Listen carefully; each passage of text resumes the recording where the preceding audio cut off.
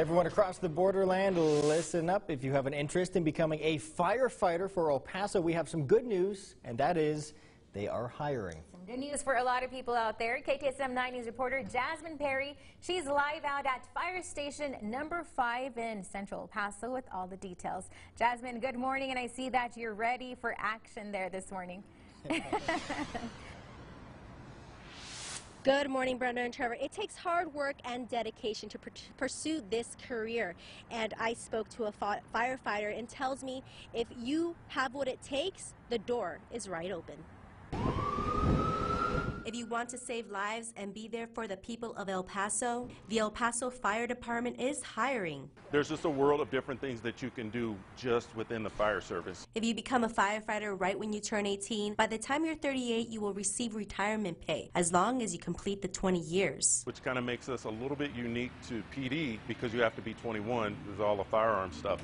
But with us, you can come straight out of high school, 18 years old, Jane Nicholson is a fire suppression technician driver for the El Paso Fire Department, and he says becoming a firefighter has been a true blessing. When we're out on the trucks and we're cruising, whether we're on the way to the call, on the way back from a call, whatever, people notice us because it lets them know that we're out in the community and we're there for their benefit, for their safety. To join the Fire Academy, you have to have at least 24 college credits, an associate's degree, or have served in the military for more than two years. Very fortunately, right now we are actively hiring, so the academies are running like clockwork.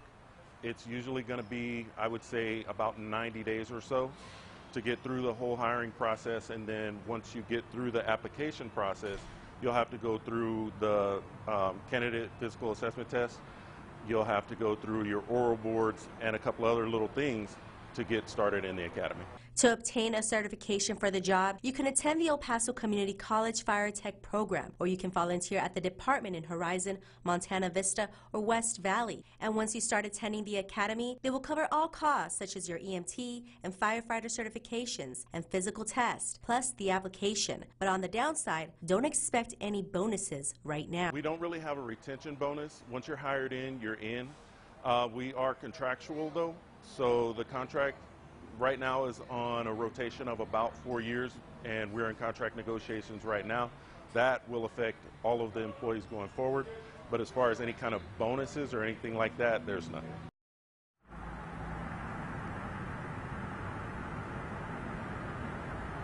Now, during your time in the academy, you can earn up to $48,000 within the, which varies in the city of El Paso. Now, after graduation, your salary will be between 44 to $69,000. Reporting in East, uh, reporting in Central El Paso, I'm Jasmine Perry, KTSM 9 News. Thank you, Jasmine.